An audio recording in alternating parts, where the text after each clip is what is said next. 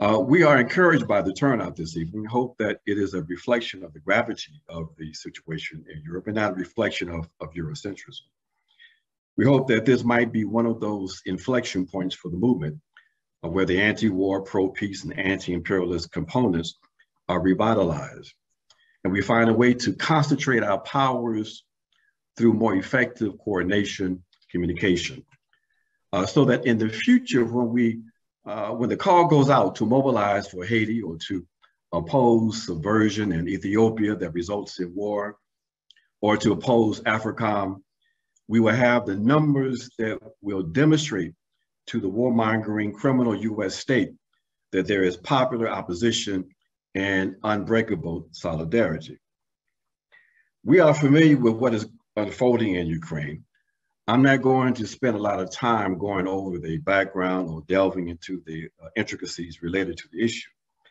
For that, I point you to uh, the Black Alliance for Peace's uh, statements and my writings on this subject from 2000, from uh, 2014 to the present. Others will provide that analysis this evening, uh, but I hope the thrust of the remarks that we hear from our panel members are structured around the political and strategic questions that this situation poses for the movement. We would like to see the contours of a plan come out of this, of this gathering. But what we do want to say this evening is that for the Black Alliance of Peace, uh, we say that the focus must go beyond Ukraine uh, that Ukraine is the symptom, but the disease is the US, EU, NATO axis of domination. We say that the movement will always find itself on the defensive and in a reactive mode until we are ready to, to take on the difficult work of delegitimizing US exceptionalism, exposing the bipartisan commitment to full spectrum dominance, and stripping away the veneer of respectability that the gangsters of empire are able to use to obscure the crude, raw, narrow interest that they attempt to advance to the detriment of global humanity using terms like the responsibility to protect. we say, who protects us from you? Today's Ukraine, tomorrow it might be China, even while the people of Afghanistan are starving. Bombs are still dropping uh, on Yemen. The wars continue in Ethiopia. Black and colonized people are still subjected to military occupation by the domestic army known as the police of the US.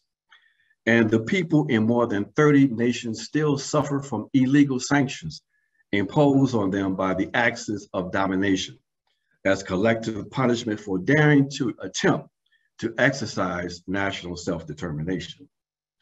It is imperialism, folks, specifically the pan-European white supremacist colonial capitalist patriarchy that must be identified as the enemy and struggled against.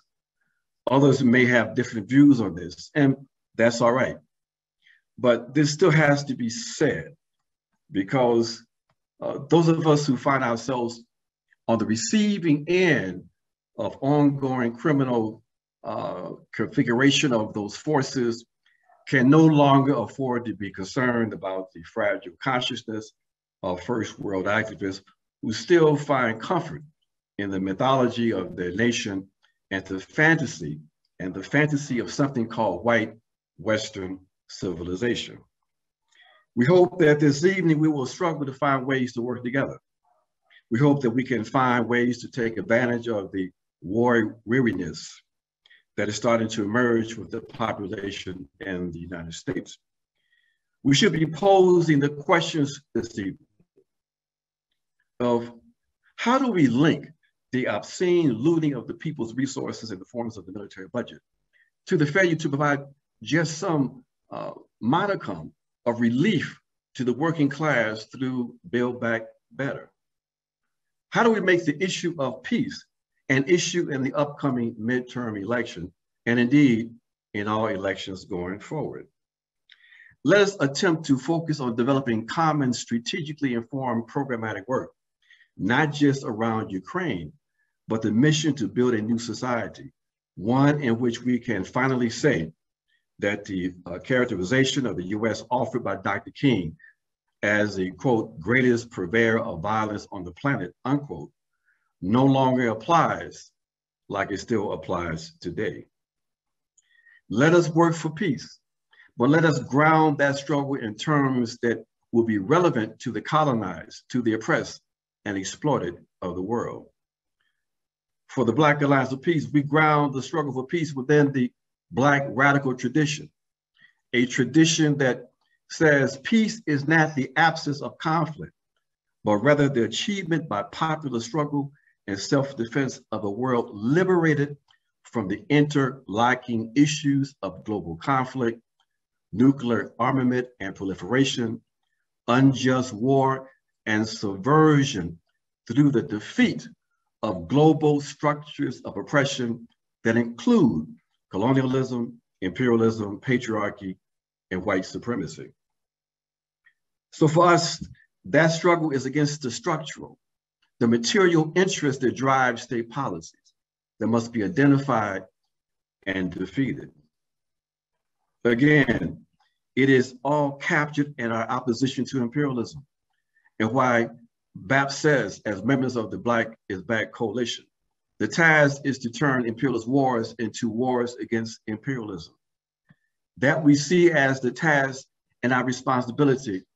And on that, we, we say there will be no compromise and no retreat. So let's get to work.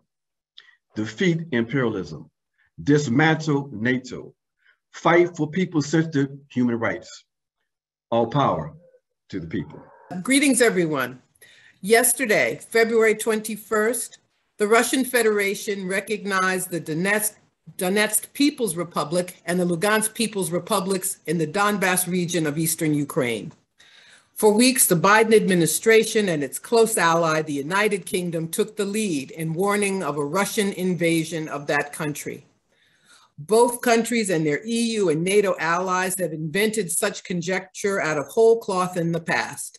I personally recall false tales of Iraqis taking Kuwaiti babies out of incubators, weapons of mass destruction which never materialized, Libyan soldiers taking Viagra to commit mass rape, the leaders of any nation the US doesn't like of killing their people, or Russian bounties paid to the Taliban if they killed Americans. No one who calls themselves an anti imperialist should have believed this latest story either. But Vladimir Putin made all points moot when he called the bluff and upended a scheme to kill the Nord Stream 2 pipeline, uh, agreement between Germany and Russia, and to impose more sanctions on Russia than already exist. In recent days, war propaganda was uttered and written at a level I can't remember. But it's interesting. The corporate media, presidents, and prime ministers all behaved as if war in Europe was somehow worse than war breaking out anywhere else.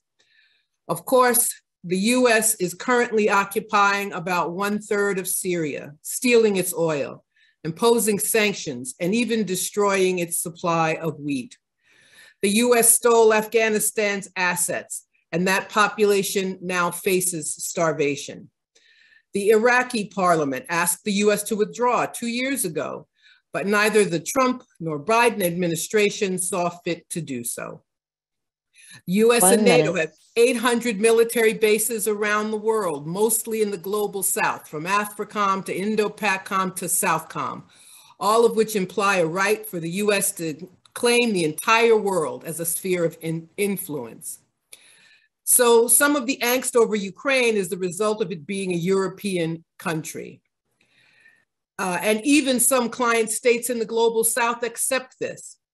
At yesterday's Security Council session, Kenya's representative Martin Kimani received praise when he said African countries accept the ways in which Europeans carved up that continent without regard to African uh, connections.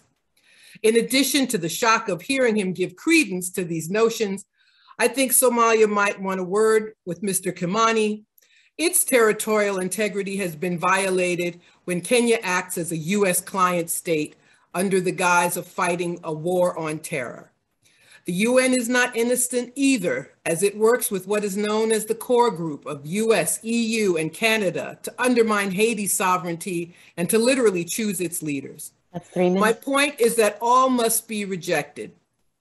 Inevitably, inevitably, Russia has been targeted, but we must say no to it all. There must be no unilateral coercive measures, no sanctions anywhere, no wars on terror, no invasions, no interference, no claim of phony rights to protect, no NATO, no $780 billion military budget, no core group, no Lima group.